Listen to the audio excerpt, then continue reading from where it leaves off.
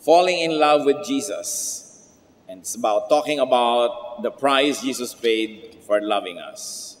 Ano-ano po ba ang kinakailangang mangyari, maranasan, at pasanin ng Panginoon para tayo mahalin?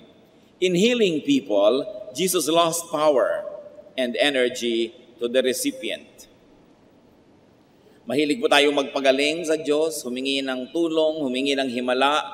Pero siyempre, pagka kumuha ka dito sa kabilang side, parang sa accounting, mayroon ka dapat counterpart sa kabilang side. Because both things must happen on the uh, two sides of the equation. That nothing ever happens without causing a reaction of events. And when Jesus gives power and energy and ministration, He actually pays. Sa Mark 5, 24 to 30, makikita po natin dito ang isang himala na mayroong isang babaeng gumaling. Nakakagulo ang mga tao, maraming uh, nakapaligid sa Panginoon at may nagyayaya pa sa kanyang bahay para sa kanyang anak na may sakit. So Jesus went with him. A large crowd followed and pressed around him. And a woman was there who had been subject to bleeding for 12 years. She had suffered a great deal under the care of many doctors and had spent all she had. Yet, instead of getting better, she grew worse. When she heard about Jesus, she came up behind him in the crowd and touched his cloak because she thought, if I touch his clothes, I will be healed. Immediately, the bleeding stopped, and she felt in her body that she was freed from her suffering. At once, Jesus realized that power had gone out from him. He turned around in the crowd and asked, Who touched my clothes? So meron po isang babaeng labing dalawang taon nang dinudugo, hindi mapagaling ng sino mamang gagamot, naubos na ang pera, kapupunta rito at kapupunta sa ganong doktor. At sabi niya, mahipo ko lang ang laylayan ng kanyang damit, gagaling ako. Meron siyang ganong mananalig. At sa dinami-rami ng di magkamayaw na tao sa paligid ng Panginoon, obviously touching Him, napapadikit sa Kanya at nagsisiksikan, ang babaeng ito ay humipo sa kanyang damit. At agad-agad, dahil sa kanyang pananalig, naramdaman niyang siya'y gumaling. Kung meron po kayong napakasakit na karamdaman o napakahirap na kalagayan, kayo ang unang-unang makakaalam kung ito ay nawala. Parang meron kayong tinik na biglang nabunot, meron kang pasan na biglang nawala, alam mo agad, sabi niya, gumaling ako, I know it. At ang Panginoon, may naramdaman din. Naramdaman niya ang kapangyarihan na lumabas mula sa kanya. At sabi niya, sino ang humipo ng damit ko? Sabi ng mga walang kamalay-malay, mga clueless na mga disciples, ang dami-dami po tao na nagkakagulo dito, eh, tinatanong niyo kung sino humipo sa inyo. Because obviously, there were so many people who were able to touch him, but this one particular touch had the touch of faith. Kaya siya lang ang gumaling sa dinami ng nakahipo sa Panginoon, siya lang may pananalig. Kaya sino man ang umaaten ng church, maraming nakikinig pero napagpapala ba? Gumagaling ba? Yung may pananalig lamang, hindi lang lahat ng nakakahipo ang gagaling. Pero ang mahalagang tingnan dito, that Jesus lost energy to the recipient. At naramdaman niya yon. Hindi basta libre-libre lang ipinapamigay niya na baliwala, iniinda at nararamdaman ng Panginoon. Kung misa naman kasi iba, medyo may trabaho ka lang, may konti kang pera, bigyan mo naman kami, hindi mo naman iinda, ang dami mo naman pera. Paano ko pwede magbigay kahit kanino na hindi mo iniinda? At ang Panginoon talagang nararamdaman niya ang kanyang pagbibigay because He pays. What else did Jesus pay to become our Lord and loving Savior? The Lord received the illnesses upon Himself whenever He healed people. In healing people, He received the illnesses. Matthew 8, 16 to 17. When evening came, many who were demon possessed were brought to him, and he drove out the spirits with a word and healed all the sick. This was to fulfill what was spoken through the prophet Isaiah. He took up our infirmities and carried our diseases. Nakikita niyo po yung mga nurses, doctors, technicians na nagsisilbi sa mga pasyenteng may sakit, lalo yung nakakahawa, bihis na bihis, ayos na ayos, linis na linis, dahil baka makuha nila yung sakit. Pero kung yan po ay tinatanggal sa atin, lumilipat. Inoperahan ka, tinanggal yung maruming bahagi ng iyong katawan, eh napalipat yun doon sa kung saang lugar, kaya iniingatan nila kung saan pumupunta yung mga biological wastes ng ospital dahil may paglilipatan yon, kaya kailangang ingatan. Yung basura natin, inalis natin sa ating bahay na wala yung baho pero lumipat sa iba. Kaya yung mga sakit natin na pinapatanggal natin sa Panginoon sa niya dinadala, tinatanggap niya sa kanyang sarili. Yun pong He took up our infirmities is from the Greek lambano, which means to accept, to have, to obtain, to receive, to take. In other words, when you say, the Lord healed me, it means the Lord accepted, obtained, received, and took my disease. Gumagaling ka dahil merong kumukuha ng iyong sakit. At yung sinabi sa prophecy, He carried our diseases, is from the Greek bastadzo, which is to endure, to sustain, to receive, to carry. Pareho lang. Pag kinuha niya yung sakit mo, sa kanya napunta. Kaya hindi pwede kang pagpalain ng Panginoong Yesus na hindi niya nararamdaman na pinagpala ka dahil siya ang nagbabayad. In forgiving sins, Jesus received the punishment due the sinner. Hihingang ng tawad, Lord, patawarin niyo po ako sa kasalanan ko, nagkasala po ako, patawarin niyo po ako. Pag pinapatawad tayo, may nagbabayad. Pag may utang na pinapatawad dahil may nagbayad, hindi pwedeng walang nagbayad. At tuwing humihingi tayo ng tawad para sa ating kasalanan, si Jesus ang ating pinagbabayad. Mga kapatid, kung minsan siguro, sobrang na tayo nasanay sa kabutihan ng Diyos. Lord, pagka magko-confess sa gabi bago matulog, marami po akong kasalanan, tulad din po ng kahapon, sorry, thank you po, good night. Ganon na lang ba kagaan ang paghingi ng tawad? Eh kung atin pong laging naaalala na pag humihingi tayo ng tawad, may nagbabayad at ang Panginoon yun.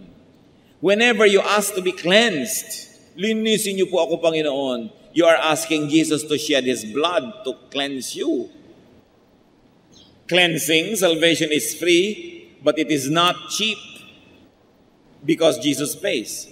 Isaiah 53, verses 5 to 6, referring to the Lord, but He was pierced for our transgressions, He was crushed for our iniquities. The punishment that brought us peace was upon Him and by his wounds we are healed.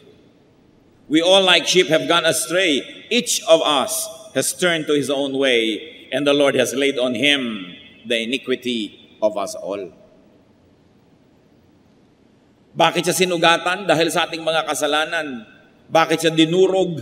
Dahil sa ating mga karumihan. Bakit siya pinarusahan? Ba tayo nagkaroon ng kapayapaan? Dahil lahat ng gulo natin itinambak sa Kanya at ibinigay sa Kanya. At bakit nawala ang ating mga sugat? Sapagkat inilipat sa Kanya. Sabi lahat tayo para mga tupang naligaw. Alam niyo po ang mga tupa, napakadaling maligaw. Kahit araw-araw doon dumadaan sa landas na yon, konting lito lang, nalito na, lumiko na sa iba, nahulog na sa bangin. Kaya ang uh, ginagamit na paghahalin tulad sa mga mana ng palataya ay tupa. Kasi ang tupa ang daling maligaw. Tulad natin, sa niya ang dali-dali nating maligaw at ibinunton sa Kanya ang lahat ng parusa para sa ating mga kasalanan.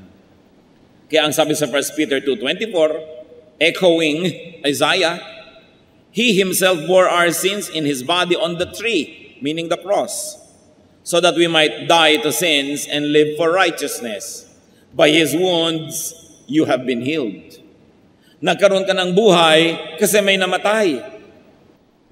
Napatawad ka kasi may nagbayad. May lamb, kaya merong forgiveness. Kaya ang tawag sa Panginoon din, Lamb of God. Alam niyo po, sa old tradition of Israel, sa kanilang mga tradisyon ng pag-aalay ng mga hayop, hahawak sila sa ulo ng hayop at sa isang seremonya ay waring inililipat doon sa hayop ang kanilang mga kasalanan. At pagkatapos ang hayop na ito ay papatayin, ititigis ang kanyang dugo at ibubuhos doon sa altar.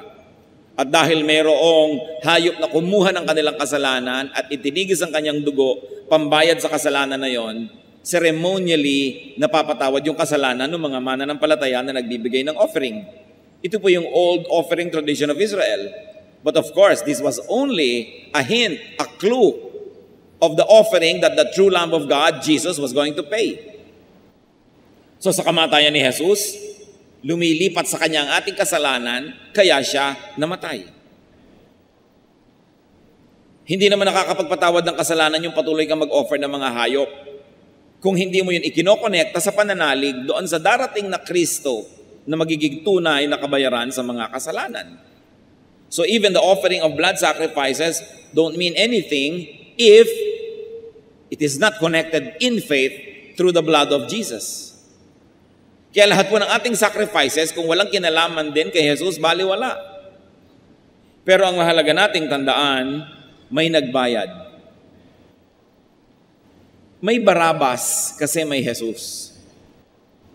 Ano po ang nangyari no ang Panginoong Isus sa inilitis ni Pontius Pilate? Wala siyang makitang kasalanan. Sa niya, wala akong makitang kasalanan dito. Meanwhile, heto si Barabas, sabi niya, alam na alam niyo at alam na alam ko makasalanan. Pumili kayo kung sino sa kanila ang palalayain ko. Kasi naging kaugalian na na pagpista, nagpapalaya ng isang may kasalanan. At ang pinili ng mga tao si Barabas at si Jesus, nagpasa ng krus. Habang ang Panginoon ay hinahataw, nagpapasa ng krus at ipinapako, si Barabas nagpa-party.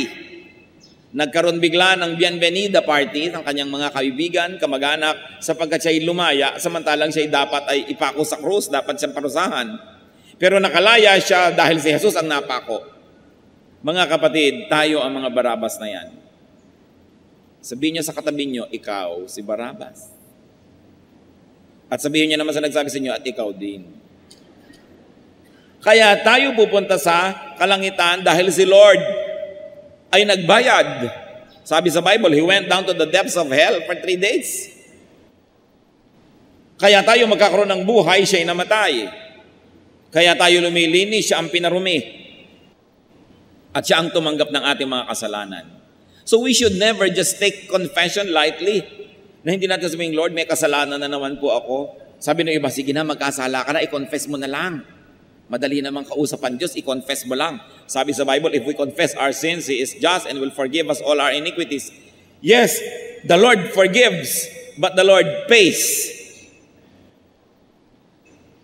Tuwing kayo po, halimbawa, gagawa ng mali, pero alam nyo, magulang nyo magbabayad. At di ba nangyayari naman sa buhay natin yan? Mga anak gagawa ng mali, magulang nagbabayad. Magulang nagbabayad ng piyansa, magulang ang nagbabayad sa pulis, magulang ang nagbabayad sa hukom, magulang ang nagbabayad sa ospital, sa mga na-damage. Talagang may nagbabayad. Pero anong klasik anak ka naman tuwing wala ka na lamang na ginagawang pag-iingat dahil may nagbabayad naman? At sa mga kasalanan natin paulit-ulit, ang Panginoon, paulit-ulit nating sinusugatan para kuhanan ng dugo na panglinis sa ating kasalanan. Ganun niya tayo kamahal. Isang pagmamahal na hindi dapat abusuhin, isang pagmamahal na dapat maging inspirasyon natin para tayo magsikap na bigyan siya ng kaluguran, kasiyahan, at tigilan natin ang kahihingi ng dugo niya. Ngayon yung iba naman, o ba't hindi ka malang nagko-confess kasi nahihiya na ako sa Diyos humingi ng dugo eh. Kung talagang nahihiya ka, ang tigilan mo ay ang pagkakasala. Kasi kahit hindi ka humingi ng dugo at palinis, offensive pa rin sa Diyos ang karumihan. Yan po ang pinagkaiba mga kapatid ng Christianity. That's why we do not uh, apologize to say that this is the real one, the genuine one. Because in Christianity, Christ pays. In all other religions, you pay. Humanap kayo ng ibang religion na hindi salvation through faith in Jesus. Siguradong yung tao ang Savior niya. Kailangan siya magsakripisyo, kailangan siya magbayad, kailangan siya magbiyahe patungo sa malayo to earn points, kailangan siyang gumawa nito at gumawa noon, magpahirap sa sarili dahil siya ang nagbabayad sa kanyang kasalanan. Pero kaya ba nating bayaran? Ano man ang gawin natin sakripisyo? Hindi. Jesus paid for our sins. This is a very, very cornerstone and uniqueness of Christianity. That in Christianity, our God pays for our sins. In all other religions, you never stop making sacrifices to try to pay for your sin and to please your God. And if it is God who is your judge, who will pay for your sin, and He is the judge, who can condemn you? Kaya sinasabi sa Bible, there is now no more condemnation for those who are in Jesus. Pag namatay ka, siguradong automatic, you're going to paradise. Wala nang hukuman, wala nang magsasakdal. Paano ka isasakdal? Eh, ang hukom, eh yung Savior mo. Saan ka nakakita ng hukom na matapos kang i-declare guilty, I find this accused guilty. Pak! Pagkatapos hinubad niya ang kanyang robe bilang judge at siya ang naupo sa silya elektrika para sa iyo. Siya ang tumanggap ng lethal injection para sa iyo. Siya ang nag-serve ng 30 years in prison para sa iyo. Pero dineclare kanyang guilty dahil siya ay just. Hindi niya pwedeng sabihin yung tama ay mali. Yung mali ay mali. Hindi niya pwedeng sabihin yung mali ay tama. Yung mali, mali. So we are all declared sinful. But Jesus paid for our sins. God, who is our Savior, is also our judge. Yun lang mga kapatid, dapat na sapat na para tayo masecure lagi. Hindi bagay sa mga Christian yung insecure. Nai-insecure ka doon sa isang mahusay-husay na tao. Hindi bagay yan. Hindi bagay yung nai-insecure ka sa ganito, sa ganyan, wala kang siguradong kakainin next month, nai-insecure ka. Kung yung eternity, yung kawalang hanggan, yung, yung forever and ever, isinecure ng Panginoon, hindi pa pa kaya tayo isecure bukas, ngayon, next week, next month? At kung si Jesus ay mamamatay para sa ating kasalanan, ililipat sa kanyang ating mga sugat, tatanggapin ang mga palo na para sa atin, ang mga pako na dapat ilubog sa ating katawan ay sa kanyang katawan ilubog, hindi pa kaya tayo bigyan ng makakain? Hindi pa kaya niya tayo bigyan ng shelter? Hindi pa kaya niya tayo bigyan ng konti nating kailangan dito sa mundo? Never be insecure. The love of Jesus is enough to make you smile all the days of your life, no matter what happens. Because our eternity is secure. Merong Kristo, kaya tayo ay ligtas. Ano pa po ang mga sacrifices ni Lord sa atin? In giving happiness and joy, Jesus carried our sorrows. Isaiah 53 verse 4. Surely He took up our infirmities and carried our sorrows. Yet we considered Him stricken by God, smitten by Him, and afflicted. Sa pagpapasaya sa atin ng Panginoon, siya ang nagdala ng lungkot. Ganyan-ganyan po yung mga counselee. Ah. Counselee. Darating sa counselor, lamu-lamukot ang muka. Madilim ang muka. Mabigat ang puso. Matapos magbuhos ng magbuhos ng kanyang mga sama ng loob, maipanalangin at mabigyan ng makadiyos na payo, lalabas sa counseling room nakangiti na, maligaya, kung hindi man kumpleto, nabawasan na yung dala niyang mabigat. At sa pangatlo, pang-apat na counseling, gumaan na siya. Alam niyo po kung ano nangyari? Pag alis niyo sa counselor, sa pastor na nagbigay sa inyo ng payo, siyang bumigat. Naalaman niya yung mga problema niyo, ininda niya yung mga suliranin ninyo, yung mga gulo niyo sa buhay, tinambak niyo lahat sa kanya. Siya ngayon na may dala-dala. Because the servants of Christ are little Christs. Kaya yung ginagawa ni Kristo, ginagawa din ng mga lingkod niya. Kaya yung mga iba gusto magpa-counsel, pagkatapos ng message, pwede po magpa-counsel. Anak, hindi mo alam ang sinasabi mo. Kaka-message lang natin, dahil ko pang nakipag-boxing sa limang flash elorde. Pwede ba nating i-schedule yan so I can give you undivided attention? Eh ngayon ko na po kailangan. Napaka mga unreasonable kumisa ng mga anak ng Diyos. Pero sa doktor, nakikipag-appointment. Sa dentista, nakikipag-appointment. Sa dermatologist, nakikipag-appointment. Kahit 30 days later, nakapila sa kanyang liposuction. Pero pag magpapapayo sa mga lingkod ng Diyos, gusto ngayon na agad, ayaw pumila. At akala mo na gumaan na yung kanyang pakiramdam, hindi mo lang uh, iniisip at ipanalangin yung counselor niya na gumaan siya dahil yung bigat na lipat doon. Yan po ang ministration ng mga anak ng Diyos. May sumaya dahil may lumungkot. Kaya ang tawag sa Panginoon sa Isaiah 53 verse 3, a man of sorrows. Paano ka naman sasaya kung talagang alam mo at diniinda mo ang suliranin ng mundo? Kaya dapat nating ipinapanalangin po ang ating mga counselors. Para kasi silang basurahan. Yung lahat ng basura mo, itatambak mo sa kanila, luminis ka't gumaan pero naiwan sa kanila. Anong gagawin nila? They have to be helped spiritually because that is difficult. What else did Jesus pay? In serving people, Jesus got tired. Ang Panginoon nga napagod. Tao pa.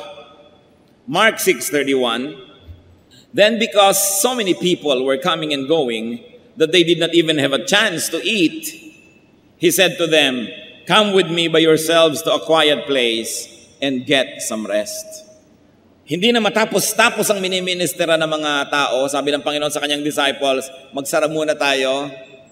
The doctor is out. Magpahinga muna tayong lahat sa isang tahimik na lugar. At alam ni Lord John. And people are comforted because someone takes their burdens. Kaya kita nyo, nakakita ng kapahingahan yung mga lumalapit sa kanila at ang napagod yung mga disciples. But we must here appreciate the ministry of Christians. That the disciples help the Lord serve the people. That the disciples help the Lord carry His cross.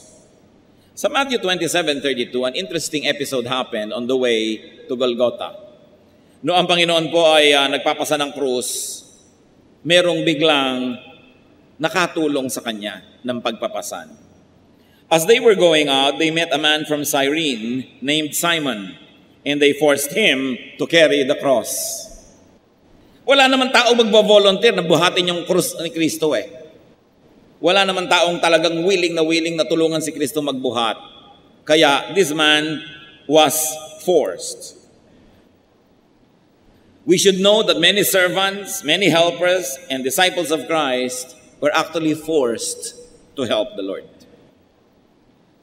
Bihirang-bihira, and I'll be suspicious of people who really would like to become pastors. Yung talagang gustong-gusto maging pastor na gustong-gustong-gusto. Bakit? Siguro ang nakikita lang niya, yung lagi kang nakakaupo sa presidential table, lagi ka kumisang nararegaluhan ng pinya, naaalala ka ng mga tao, iniimbita ka sa kanilang mga debut, sa birthdays, so gusto-gusto mo ngayon maging pastor kasi walang taong matino na iibigin niyang gusto niya magpasa ng krus. Kaya yung nagpapasa ng krus, yan ay mga pinilit pa ng Diyos. Mga kumisan, pinagsara na ng ibang pinto para mag-serve na talaga dahil ayaw pa eh. O kaya takas ng takas katulad na ni Jonah na nagbabagyo pa at kung ano-anong dilubyo ang nangyari para lang sumunod siya sa kagustuhan ng Diyos. Pero ang maganda nito, sa napilitan kayo't hindi, kung tayo ay kapwa lingkod ni Jesus, tayo'y tumutulong na gawin ang kanyang gawain, ito'y malaking bagay. Kahit si Jesus, na si Jesus na nga siya, kinailangan pa na magkaroon ng isang taong katuwang, katulong sa kanyang gawain. Hindi dahil kailangan niya ang tao because God wants to dignify us and He likes us to become His workmates, His partners, His supporters. Kaya tayo kahit nag-aagam-agam, may konting duda, and your love for yourself, for your comfort, for your freedom, discourages you from helping Christ carry His cross, Follow the voice of God and help the Lord carry His cross. Kaya ang kasabi-sabi niya, carry your cross and follow me. Gusto mo palang sumunod kay Kristo? Hindi ba nakakahiya na si Kristong Diyos ay may pasang krus tapos sumusunod ka, wala kang dala? Kaya ang susunod kay Kristo, papasan din ang kanyang munting krus. Salamat na lang, hindi sa kanya ipinapapasan yung krus, yung cross of salvation Kundi yung cross na lang niya na, halimbawa, mahiyain siya, dapat niya yung talunin. Halimbawa, tamad siya, dapat niya sipagan. Halimbawa, proud siya, dapat siya maging humble. Yun ang mga cross na dinadala natin. Na marami na siyang trabaho sa buhay, mapapagod pa siya. It's still a cross that we have to carry. But it is a ministry. In identifying with people, Jesus lost his favored status. He lost his fellowship with the Father. Naranasan nyo na ba na kayo nasa isang marangal na kalagayan, pagkatapos eh, may mga tao nasa isang abang kalagayan, pero in identifying with them, bumaba tuloy yung ranking nyo? Ganyan ang ginawa ni Jesus. Kumisan ikaw ay napaka-respectable person, very accomplished, pagkatapos ang mga kapatid mo, ang mga pinsan mo, ang lahat ng kamag-anak mo, basagulero, mga hampas lupa, pero in identifying with them, nababawasan ang iyong ningning, but you identify with them nevertheless, kasi kamag-anak mo, isa kang kagalang-galang na teacher na babae, ginagalang ng lahat, tapos yung asawa mo pasuray-suray at laseng. Dahil sa iyong association, nadadala ka niya pababa. Ano kaya ang pagbaba na dinadala natin sa Panginoon? Na siya'y nasa langit, literally ibinaba sa lupa. Napakataas ang kalagayan, siya'y naging hamak, siya'y naging kawawa, inapi-api, sinaktan. Biruin mo anak ng Diyos, sasampalin ng tao lamang. Papahirapan sasaksakin, hahampasin. At hindi lang yon. Naputol pa ang kanyang favored fellowship with the Father. Matthew 27, 46. About the ninth hour, Jesus cried out in a loud voice, Eloi, Eloi, lama sabachthani, which means, My God, my God, why have you forsaken me? Isang napakalaking tanong sa marami, bakit sinasabi ni Jesus yun nung mamamatay na siya? Because when Jesus was about to die, all your sins, my sins, the sins of all people of the world, then, now, and in the future, were placed upon Him. Ang lahat ng ating kasalanan, itinambak kay Jesus. Pati yung gagawin pa lang natin, itinambak na para pag nangyari at ginawa natin at inihingi natin ng tawad, nabayaran na rin sa krus. Kaya naputol ang relasyon ng ama sa anak because how can God who is holy, how can the Father who is perfectly holy have fellowship with the Son who has now become the sin and who has now become the personification of sin. Nalipat sa kanya lahat. Kumisan, may anak ka, hindi mo gusto yung mapapangasawa dahil nakipag-isa doon, itatakwil mo. Hindi mo na ako ama mula ngayon. E paano pa yung Diyos Ama sa langit? Ano magiging relasyon niya sa Diyos Anak na naging sobrang makasalanan, pati yon naputol? Ibinaba natin ang kalagayan ng Panginoon at ginawa niya yon para tayo itaas. Huwag magtaka, mga kapatid, if in our association with Jesus, sa tingin ng iba, bumababa tayo. Sobrang pagbaba ang ginawa ng Panginoon para maki-associate sa atin. Huwag tayo manghinayang kung sa tingin lang ng ibang tao dyan, bumababa tayo dahil kayo nagbabasa ngayon ng Bible, dahil ikaw ngayon ay naging born again Christian, dahil ikaw ngayon ay naghahanap ng katotohanan. Sabi nila, ano nangyari sa'yo? Bakit iniwan mo ang ating dating relihiyon? Naligaw ka na ng landas, nababaliw ka na, nagba-Bible ka na. Kuminsan, itinatatuhan natin ang ating pagiging anak ng Diyos para huwag bumaba ang pagtingin ng iba sa atin. Pero ang pagbaba ng Panginoon, hindi sa pagtingin ng makasalanang tao, ha? kundi sa pagtingin ng Diyos Ama, ginawa niya para sa atin. So you be identified with Jesus. If He was willing to be identified with you, all the more that we should be willing to be identified with Him. Ano sabi ng Panginoon sa Matthew 10, 32 to 33? Whoever acknowledges me before men, I will also acknowledge before my Father in heaven. But whoever disowns me before men, I will disown before my Father in heaven. Pag ako ay pinagbapuri mo sa harap ng tao, ipagmamapuri kita sa harap ng Ama. Pero pag ikinahiya mo ko sa harap ng tao at itinatwa mong anak kita, itatatwa kita sa harap ng Ama sa araw ng paghuhukom. Ganun ang pagmamahal sa atin ng Diyos. Sobra. Christianity is a religion premised on love, on the love of God for people. Sa kayo nakakita ng relihiyon na yung Diyos ang nag-o-offer at ang offering niya hindi bulaklak, hindi kandila, hindi dasal, hindi usok. Ang offering niya ang sarili niyang buhay para sa kanyang mga anak. So the Lord loves us. Jeremiah 31:3. The Lord appeared to us in the past saying, I have loved you with an everlasting love. I have drawn you with loving kindness. In loving and serving people, the Lord Jesus Christ received all our illnesses upon his body. He received the punishments for our sins.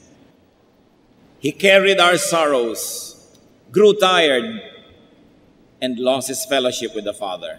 But of course, he regained this in victory Because the holiness and perfection of Jesus could not keep him on the ground, could not keep him dead, could not hold him in hell. But the holiness and perfection of Jesus is above the sins of us all. Ang kanyang kabutihan ay higit sa kasamaan nating lahat. Ang kanyang kalinisan ay higit na makapangyarihan sa karumihan nating lahat. Kaya kaya niyang bayaran ang lahat ng ating kasalanan.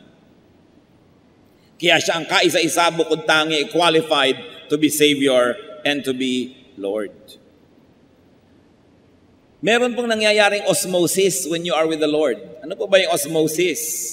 The movement of liquid from a place of higher concentration to a place of lower concentration. Or the movement of anything. Kaya yung itlog ng itik na ibinabad nyo sa asin ng matagal, nagiging itlog na maalat. Kasi yung alat ng asin nakakalampas doon sa shell na yan ng itlog at nakakapasok sa loob, nagiging maalat. Kaya ang ibinababad nyo, iminamarinade yung karne sa toyo, naglalasang toyo. At kaya naman, yung masarap sana, pero sinobrahan nyo ang sabaw, lahat ng lasa niya nagpunta na sa sabaw, nawala na yung concentration, nag-osmosis. Pag tayo babad sa Panginoon, osmosis happens. Yung kapangyarihan niya, yung kanyang lasa, yung kanyang kagandahan lumilipat sa atin. At alam niyo nangyayari, lahat ng kasamaan natin at karamihan lumilipat sa kanya at binabayaran niya. Kaya ang mahalaga, sino ang iyong kasama, sino ang iyong kababad, dahil magiging ganun ka rin. Kung nakikibabad ka sa mga laging nagpupuyat, magiging puyat ka rin.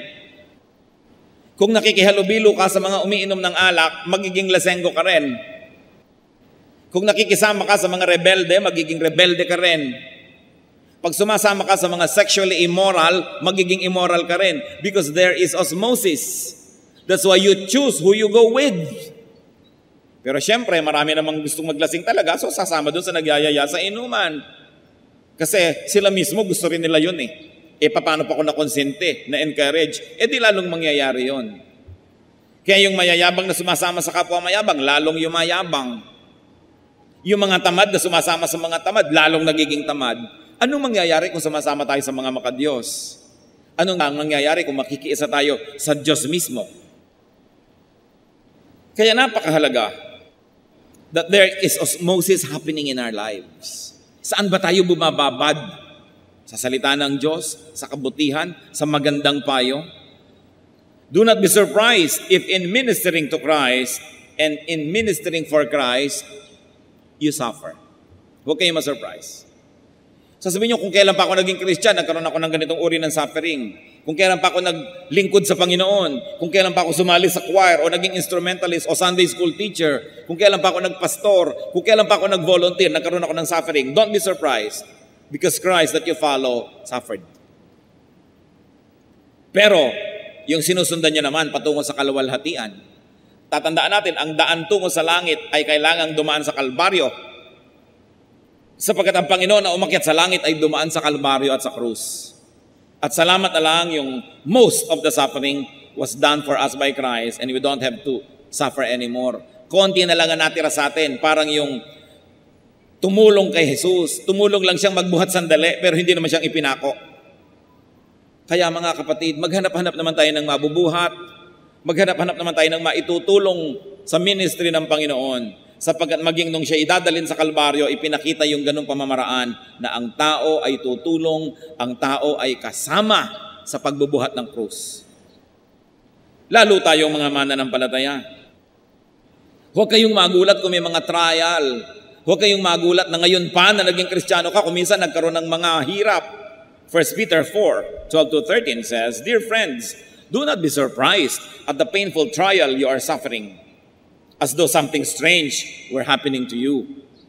But rejoice that you participate in the sufferings of Christ, so that you may be overjoyed when His glory is revealed.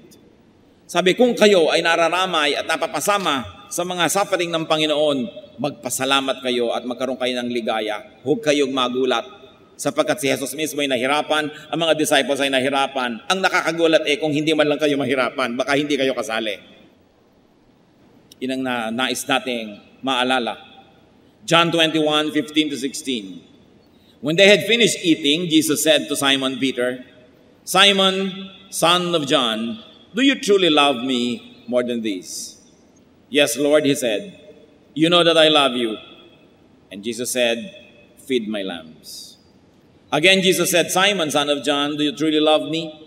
He answered, Yes, Lord, you know that I love you. Jesus said, Take care of my sheep. So tayo minahal ng Panginoon. Ang tanong sa atin ngayon, mahal mo ba ako? At kung ang sagot nyo, Yes, Lord, I love you. Alam nyo ang sagot niya, Bueno, feed my sheep. Feed my lambs. Take care of my people. Take care of my church. The church is the body of believers, the head of which is Jesus. Kung mahal mo ako, paano mo ako paglilingkuran? Nasa langit ako, paglingkuran mo ang mga kapatid, ang kapatiran, ang church. Paano mo ako bibigyan eh, ang yaman-yaman ko? Wala akong kailangan, Diyos ako. Buwes, bigyan mo ang mga kapatid, bigyan mo ang gawain, bigyan mo ang misyon, bigyan mo ang church. Paano mo ako tutulungan ay ako'y Diyos? Tulungan mo ang mga kapuspalad, ang mga kawawa, because whatever you do to the least of this, you do to me. Gusto mo kong gawa ng mabuti? Sabi ng Panginoon, gawin mo sa iyong kapwa. Gawin mo, unang-una sa iyong mga kapatid sa pananalig, at pagkatapos gawin mo kahit kanino paman. Yan ay ituturing ko na ginagawa mo sa akin. Jesus is loving, we should be grateful. And what better way to show our gratitude than to love those whom He loved? To love His church and not divide it, to love His church and not speak against it, to love His church and do everything to strengthen it, not to weaken it. Dapat lahat po ng ginagawa natin ay para tumulong na palakasin ng iglesia, hindi ito para pahinain, hatiin at siraan. Dapat lahat ng ginagawa natin ay para lingapin pagmalasakitan ng iglesia ng Panginoon sapagkat siya ang ulo ng iglesia. At wala tayong maaring gawin na pananakit, pagbabaliwala, pagtalikod, pagpapabaya sa church na hindi ituturing na pagtalikod sa Kanya. Because He is the head of His church. And very importantly, because Jesus has done good to you, do to others what Jesus had done for you. 1 Corinthians 11.23 For I received from the Lord what I also passed on to you. Tinanggap mo pala sa Panginoon ipamigay mo rin sa iba. Katuruan, kaligtasan, mabubuting bagay. Matthew 10.8, Heal the sick, raise the dead, cleanse those who have leprosy, drive out demons. Freely you have received, freely give. At ito'y pwedeng physical, pwede lalo naman na spiritual. Because many people are spiritually dead. They have to be spiritually alive. Turuan ng salvation. Many people have spiritual leprosy. May sakit na nakakahawa, may sakit na napakahirap gamutin. Gamutin sila sa pamamagitan ng katuruan ng Diyos. Magpalaya sa mga demonyo sa buhay ng mga tao. At kung hindi espiritual na demonyong nakatira sa kanya, mga kamalian na ang demonyo ang pinagmumulan. Ibunyag ang mga gawain ng kadiliman at huwag itong pagtakpan. Napakamali na kung may ginagawa ang inyong ina, ang inyong ama, ang inyong anak, ang inyong kapatid na mali, pagtatakpan nyo dahil kapatid nyo sa laman. Dapat ang sugat tanggalin ang takip at nang sa ganon malinis, malanggas, malagyan ng gamot. Kung patuloy mo itong tatakpan, hindi gagaling. At napakarami po na spiritual sicknesses sapagkat pinagtatakpan ng mga kamag-anak, hindi napapagaling. Hindi na miministeran, hindi na bibigyan ng counseling dahil nagpapanggap sila na wala namang mali. Yun ang sinabi ni Jose Rizal sa introduction sa No Limit Angere. May sugat kang pinakakatakpan-takpan mong parang ketong. Tatanggalin ko ang takip, ang lambong, at ibubunyag ang iyong karamdaman, hindi para ipahiya ka, kundi para ihanap ng lunas. Pero kung lagi na lang tayong on denial, we're hiding our own weaknesses and our sins from ourselves. And we do that in dealing with our relatives and family na pinagtatakpan natin kinukonsinte, hindi nagagaling, lalala ng lalala. Ang sugat kailangang buksan, mahapdiman. So Christian ministers, Christian servants, learn from the Lord and accept that you will also lose energy, receive illnesses from others, that you can get sacrificed and you bear sorrow. But sabi the Lord, carry your cross and follow me. Christians, this is the difficulty of being servants of the Most High God. Kayo mga nasa uh, paligid natin na nagsaserve, i-encourage natin, huwag i-discourage. Ipanalangin natin sila, huwag pagchismisan at pag-usapan. Kung may mga kakulangan na ating mga leader, suportahan natin sa panalangin, suportahan natin sa lahat ng bagay, at nang sa ganun lalo silang lumakas, sapagkat sa pagsunod nila sa yapak ni Kristo, sa paglilingkod nila tulad ng iniutos ni Kristo, sila man nagkakaroon ng mga pagdurusa na hinarap ni Kristo. So we should be very supportive Pray for them, support them. Hindi yung pagka lumalaki ang gawain, magkakaroon ng mga intriga, maghihiwa-hiwalay. Hindi tulungan. Habang lumalaki, siyempre, dumadami ang demands. Dumadami ang kailangang manggagawa. Dumadami ang kailangang mga gamit. So, kailangan lalong dumadami ang support, hindi kumokonte. Bakit nga po bang isang phenomenon na nakakalungkot dito sa ating bayan at sa iba man, pag lumalaki yung church, nagkakaroon ng mga division. Paano? Hindi na siyempre mababantayan lagi ng top leader ng every little corner. Ngayon may mga ambisyosong nasa mga little corner, magkuku, tatayo ng manghimagsikan. Meron naman siyempre maniniwala sa kanila dahil yun ang kasama nila araw-araw. Hindi naman nakakasama yung top leader dahil imposible ka nang sumama sa lahat. Pagkatapos, gagawa ng mga aliwaswas, bulong-bulungan, bulong-bulungan, aalis ako dito, sumama ka sa akin, sumama ka sa akin, magre-recruit ng mga tao. Kaya ang mga churches sa Pilipinas, pag lumalaki, marami nagkaka-divide-divide. Sa halip kasing tulungan ng mga lieutenants at mga generals, yung kanilang commander-in-chief, nagkuku. At yung ipinagkatiwala sa kanilang posisyon na makasama ng mga tao, ginagamit nila para pasikatin ang sarili nila, mamahal sila ng mga tao para sumama sa kanila, sa kanilang mga kabuktutan. That's why it is important to respect the chain of command, those who are in authority. Pag meron pong nakakataas sa inyo na hindi na siya susunod sa mas nakakataas sa kanya, hindi na siya dapat sundin. Kasi ang tawag doon, coup. Ang sabi ni Lord, respect those who are in authority. So we should never support such kind of efforts. Lalo sa church. Kasi kung minsan sa mga gobyerno, hindi mo na alam kung godly yung leadership. Alam nga namang si Hitler yung leader, sasabihin mo pa, respect those who are in authority. Pag hindi na makadiyos, huwag mong sundin. Dahil pag si Satanas ang sinusunod, hindi na dapat yung sundin. So it is important for us to realize the sacrifices also of those who obey the Lord. Ang ating mga choir leader, ang ating mga Sunday school teacher, sa kanilang nananahimik na buhay, pumayag sila magpasan din ng krus na yon, huwag nating dagdagan. Huwag na tayo yung maging pasanin. Maging supportive tayo. It is important to pray for those who follow Jesus.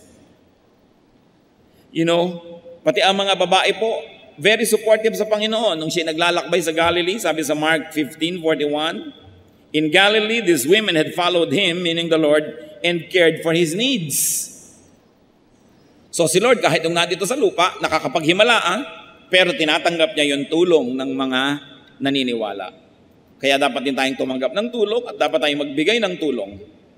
But remember, if you're going to a counselor, pray for him or her.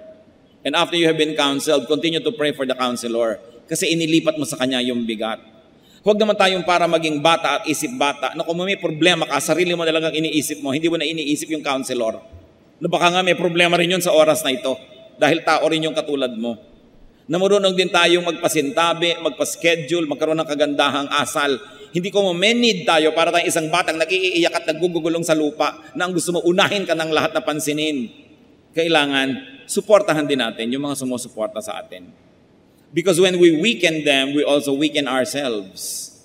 When you are not supportive of your church, your church will be weak, your church cannot serve you. So in the end, you lose.